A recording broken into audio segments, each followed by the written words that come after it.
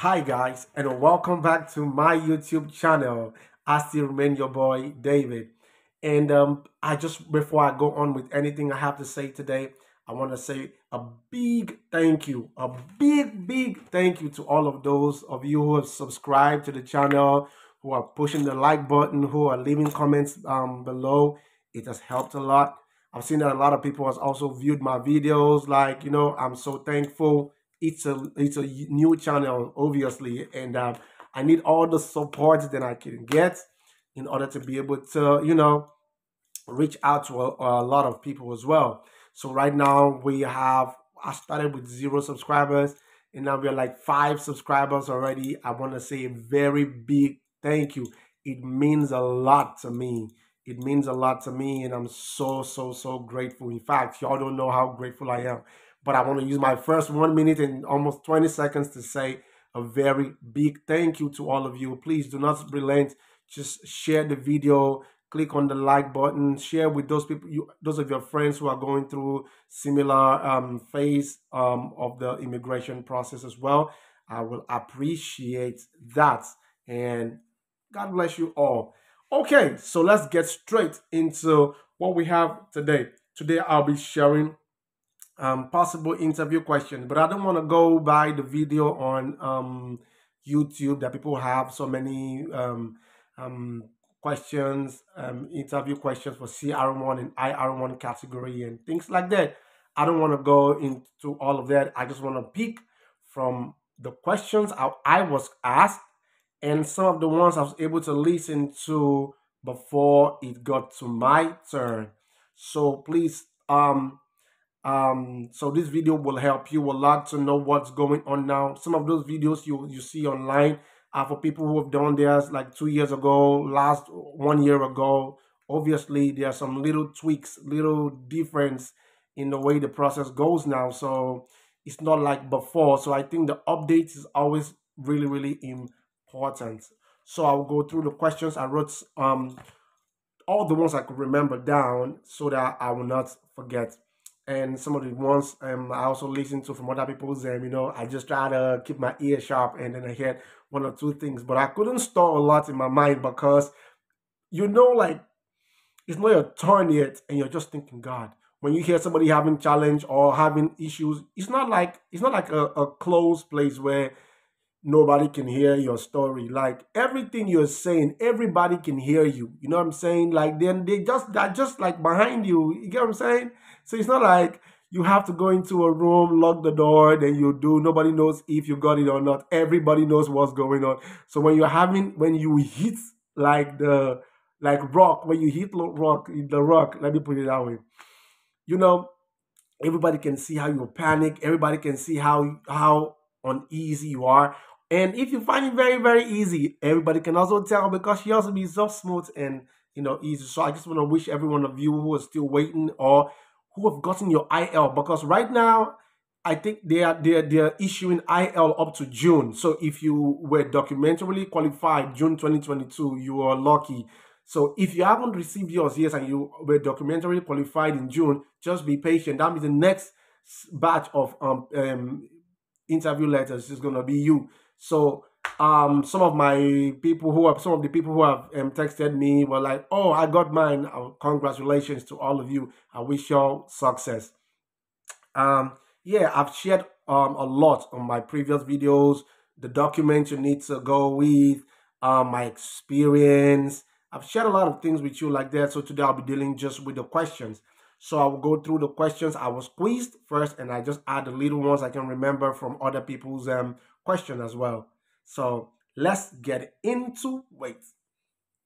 Yes, so when you get to the USCIS and you've gone through all the processes you need to go through, they've taken all the things they need to take from you, verified it, and come back to you, then you have to sit down and wait for your number to be called. So when your number is called, there are certain things you need to do. So here are some of the questions I was quizzed once I was called. So I was applicant number 20 on that day. So when I heard applicant number 20 come to window 19, I think, something like that, I just went straight. It was a white guy. So I went straight to that window. And he was looking at me. The first question he asked me was, Who is your petitioner? Who is your petitioner? And your petitioner is the person who help you.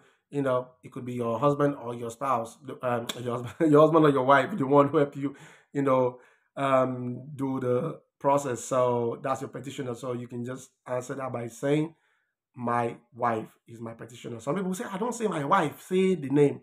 They don't really care. They know the name already. Like everything you want to say, they have it in their system. Not all, but the major, major thing that they need from you. Yeah. So the next thing they asked me, the number two was when did she first visit?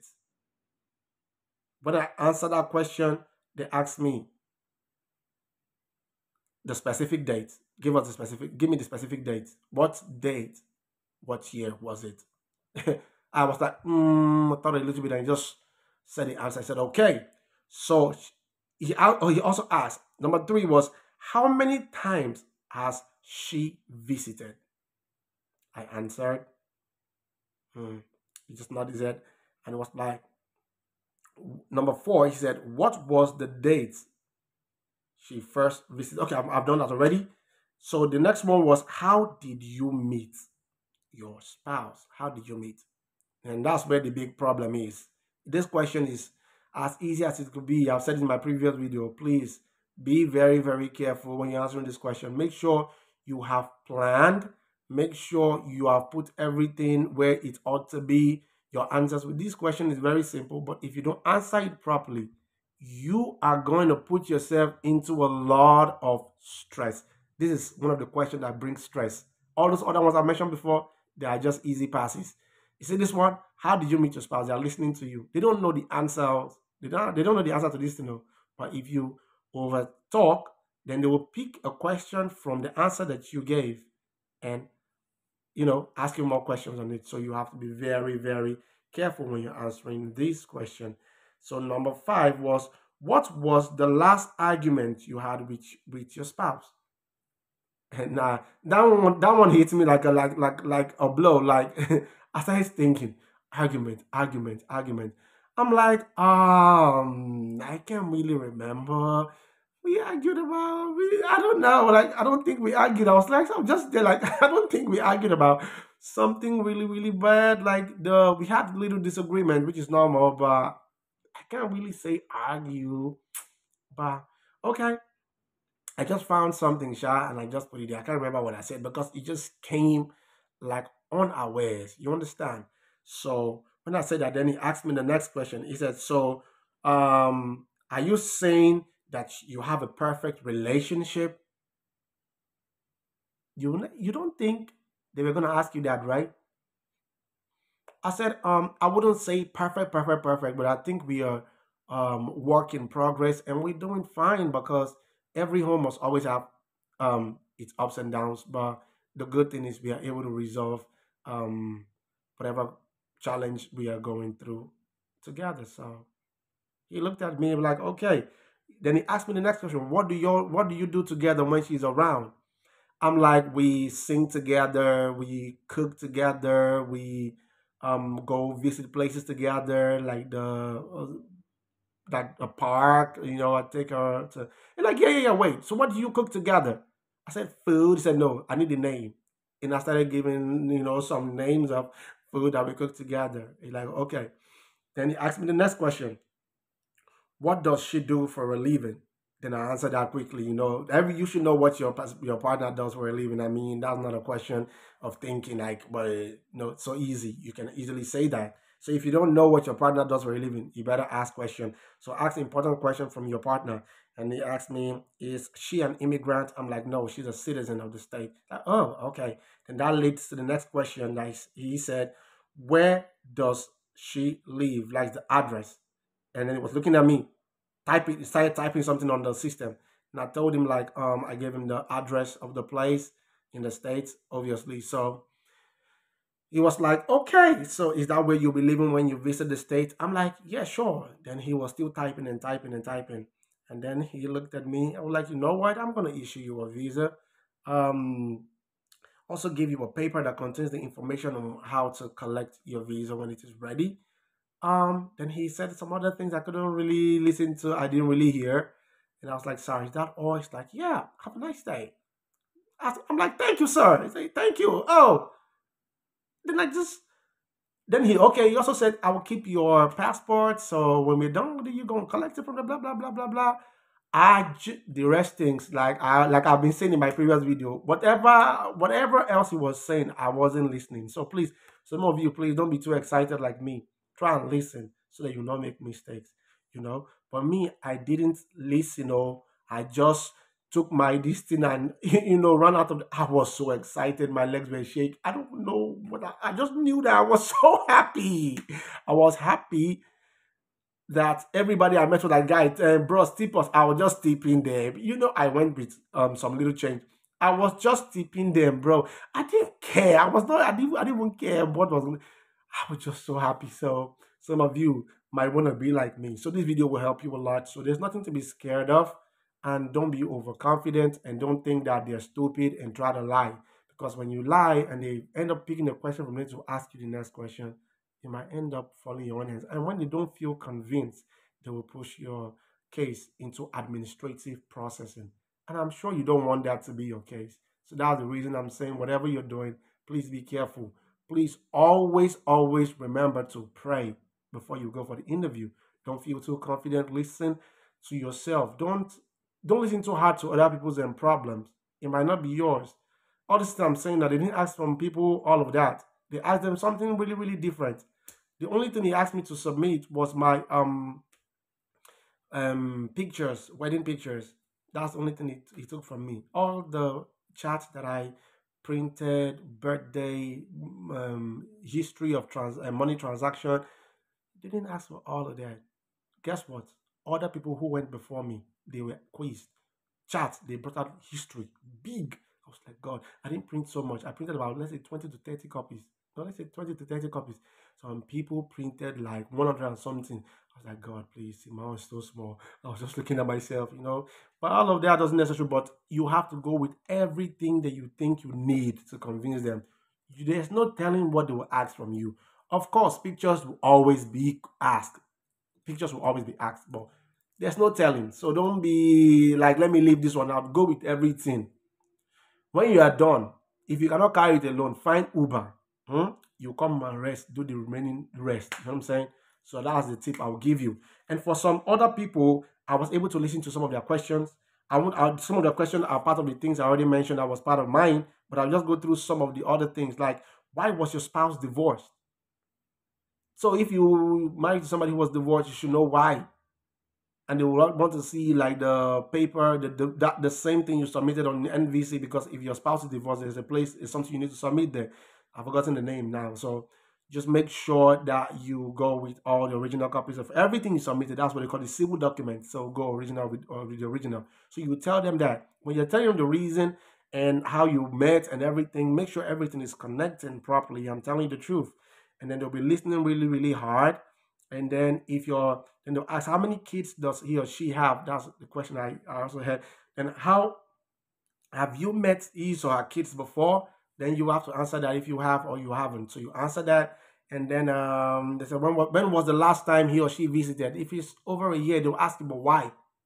Why hasn't he come around for over a year? Like they want to be sure that it's genuine relationship. Like it's not that you people are just trying to, you know what I'm saying? Because a lot of fraudsters are out there. People just do the paperwork and just want to get out of the country. You know what I'm saying? So they know that Nigerians are really, really smart. But unfortunately, the ones that are doing the genuine the genuine things are also part of the victim. So you have to be very, very careful and prepared and prayerful.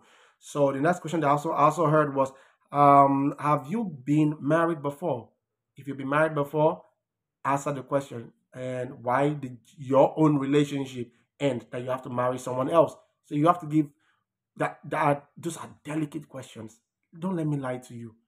They're delicate questions. So when you are preparing, prepare good answers. Prepare it well prepared like you want to tell some, you know, sometimes you might maybe the person did you wrong and then you just want to leave. Say I, I because he lied to me, so I left the relationship.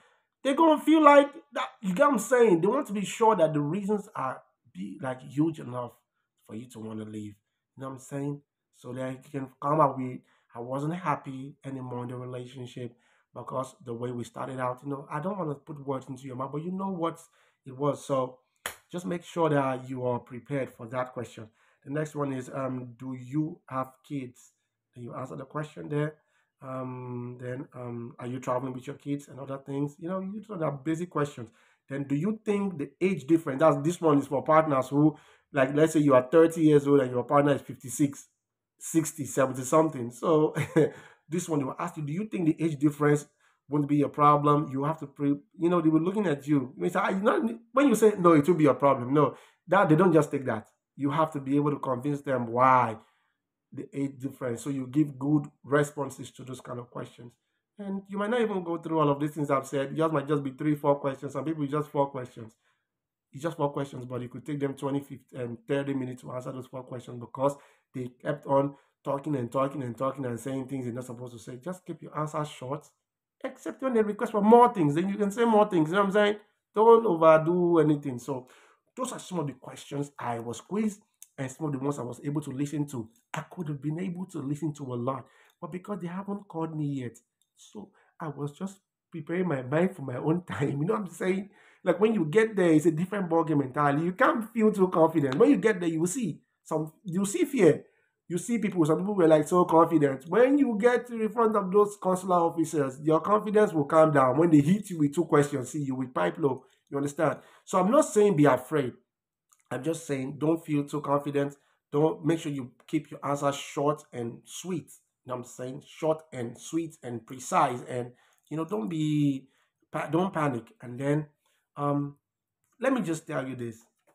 When you get to the consular office, when they collect your document and go to verify a lot of things, to some some people, the percentage already is already 90 the questioning part is just uh, is just um, freestyle. They've already made up their mind that they're going to give you a visa to some of to some of you. So when you're answering the question, like they just want to see one or two things, and then that's all.